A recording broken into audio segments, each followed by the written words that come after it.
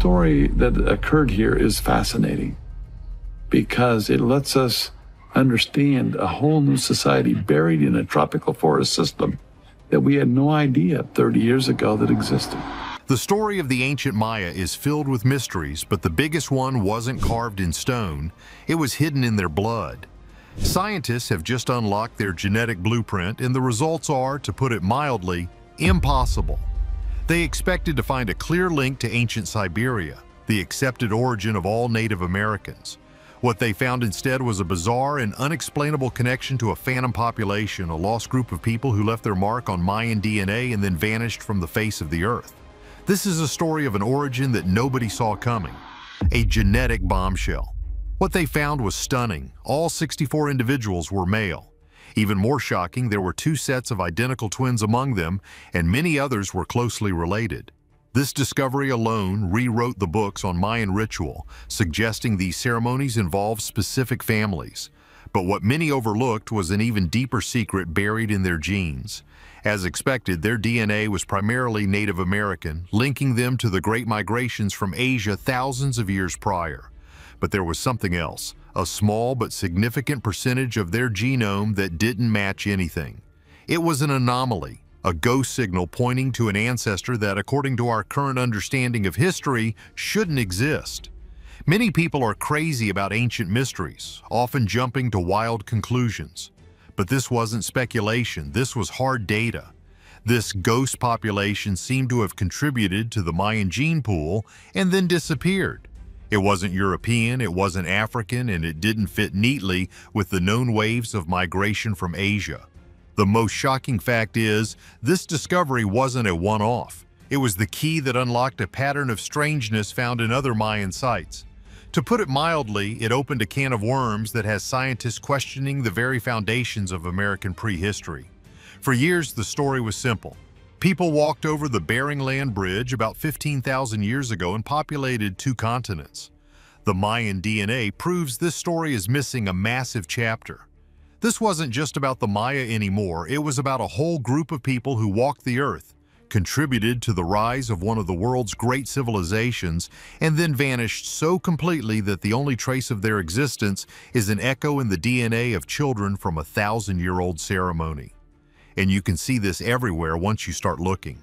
From older sites in Belize to the royal tombs of Honduras, the same mysterious genetic signature keeps showing up, confirming that the origin of the Maya is far more complex and mysterious than we ever imagined. The story we were told is not the whole story. A deeper dive into an even older site reveals the truth. The people from the sea. So where did this mysterious DNA come from? The answer started to take shape a couple of years earlier in a rock shelter in Belize. Here, scientists sequenced the DNA of individuals who lived as far back as 9,600 years ago. They were expecting to find the direct ancestors of the northern migrants who came across the Bering Strait. And they did, but only in the oldest remains. The most shocking fact is what happened around 5,600 years ago. The genetic profile of the entire region suddenly changed. It was like one population was almost completely replaced by another.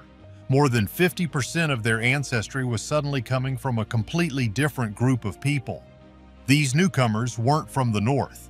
Their genetic signature was distantly related to people from the south, specifically groups speaking Chibchan languages, who live in what is now Costa Rica and Colombia. This was a bombshell. It suggested a massive migration from the south that was completely unknown to history. You see, this wasn't a small group of explorers, this was a population replacement event. These Southern people brought with them not just their unique DNA, but also the secrets of advanced maize cultivation. This new type of farming allowed for larger populations and eventually the rise of the great Mayan cities. To put it mildly, the Maya civilization as we know it may never have existed without this mysterious influx from the south. What many overlooked is the scale of this. Modern Maya people to this day carry about half of their DNA from this southern source. This means a huge part of their heritage comes from a people whose story has been completely erased. So who were they? The thing nobody tells you is that this southern connection might point to an entire lost civilization. Archaeologists have long been puzzled by the sudden appearance of sophisticated farming and pottery in the region. This genetic data provides the missing link. A people, not just an idea, moved north. Many people are crazy about the idea of Atlantis or Mu, but this data suggests a real lost world, one that existed in the lands between Central and South America.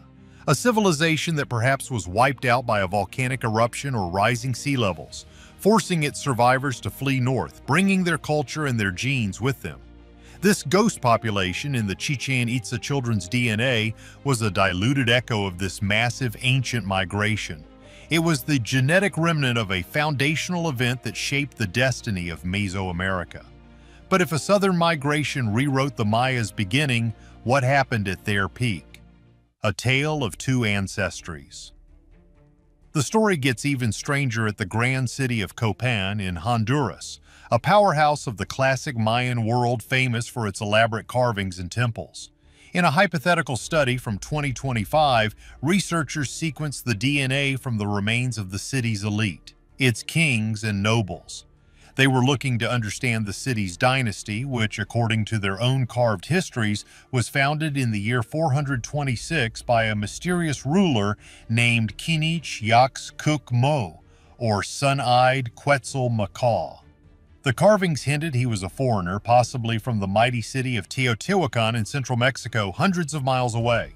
The DNA confirmed it. The ruling class of Copan had a strong genetic link to the highlands of Mexico, completely different from the local population's DNA. This proved the city was taken over by an outside force. But here's where it gets wild. Even within this highland Mexican DNA, there was another ghost. A significant portion of it, around 15%, could not be traced to any known ancient group in Mexico or Asia. It was a ghost within a ghost. So now there were two unexplained ancestries in the Mayan gene pool, the massive foundational one from the south and this new mysterious one that came with the conquering elites from Mexico. You see, the puzzle was getting more and more complex.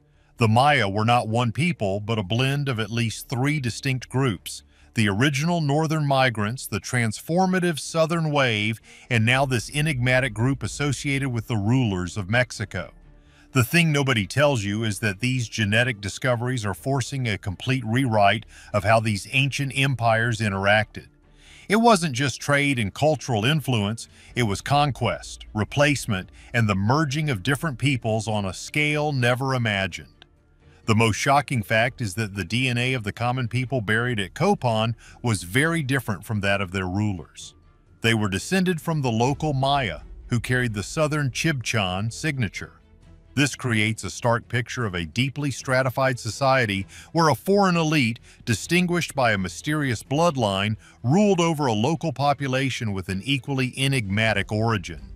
For generations, the narrative was simplified, but what many overlooked in the past was the profound possibility of these multiple distinct layers of ancestry coexisting without ever fully merging. This wasn't a simple melting pot where cultures and peoples gently blended into a new whole. Instead, it was a palimpsest of humanity, a complex and often violent history written directly into the human genome, with each layer telling a story of dominance and survival. The genetic record reveals a chronicle far more turbulent than stone carvings alone could convey.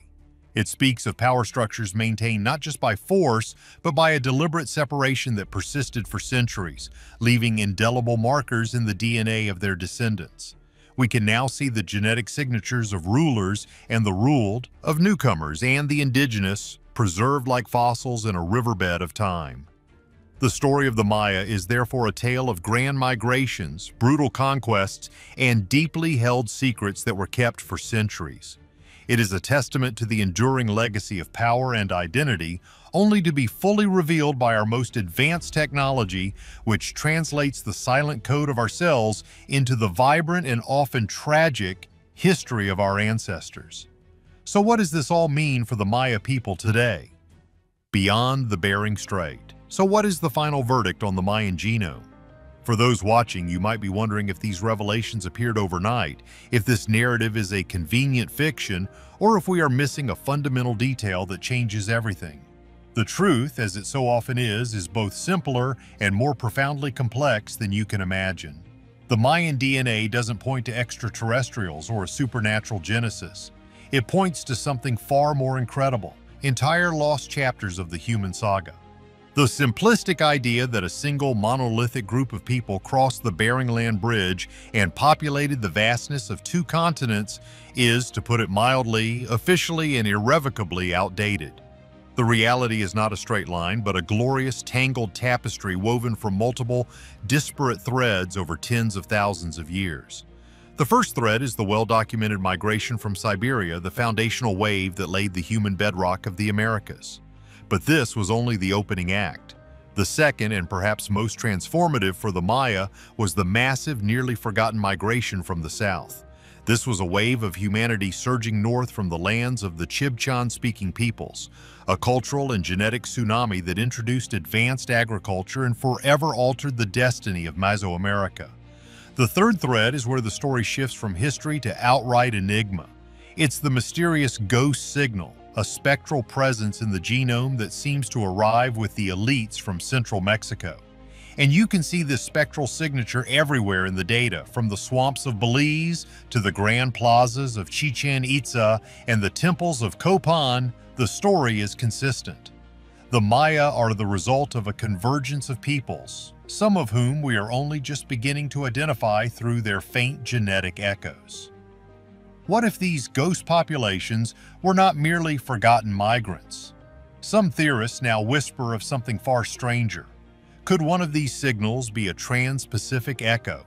Not a full-scale migration, but a handful of ancient seafarers, blown catastrophically off course from a civilization we don't even have a name for, washing ashore in Mexico millennia ago.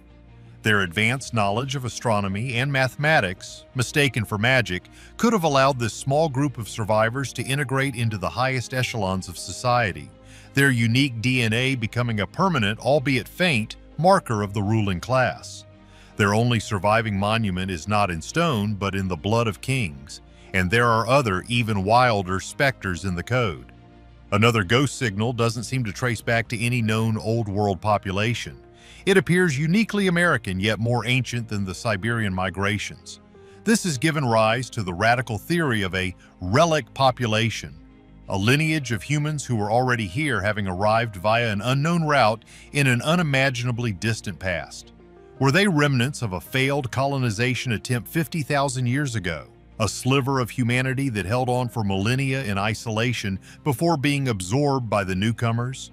Could they be the source of the unique Denisovan DNA variants found in some indigenous American populations, a ghost within a ghost, hinting at a lineage that saw the mammoths come and go long before the Maya built their first pyramid? These discoveries, once the domain of speculative fiction, now affirm what many indigenous traditions have said all along that their origins are complex, deep, and plural, not a simple story told by outsiders. Myths of ancestors arriving from the sea or emerging from the underworld are no longer just allegories. They may be the deeply encoded cultural memories of these very events. This isn't just a scientific curiosity, it's a restoration of a lost heritage, a vindication of sacred history. Modern science has finally cracked the code and the message is clear. The origins of the Maya are not an unsolvable mystery. They are a history that has been waiting to be read.